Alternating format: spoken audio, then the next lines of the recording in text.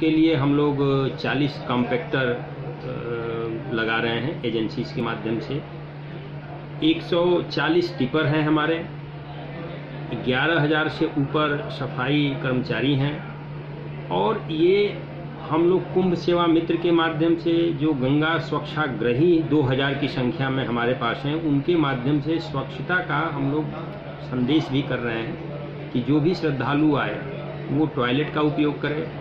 और बाहर शौच का उपयोग ना करें जिससे कि ये हमारा स्वच्छ कुंभ का जो नारा है वो हम परिपूर्ण कर सकें। इसके अलावा सर कितने डस्टबिन लगाए जा रहे हैं जो को- ये करीब हम बीस हज़ार के आसपास डस्टबिन लगाए जाने की योजना है। इसी प्रकार लाइनर बैग हम लोग करीब दो लाख के आसपास लाइनर बैग लगा रहे हैं।